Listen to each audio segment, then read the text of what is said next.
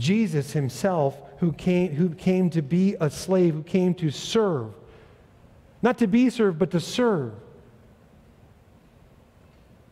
So that we could be free. Jesus Christ, who, uh, yeah, he was set apart. He was set apart so that we might be called saints.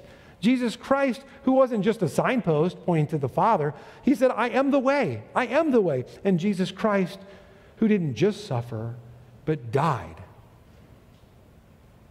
for you and for me so that we could enjoy joy and freedom and hope through our Lord and King Jesus.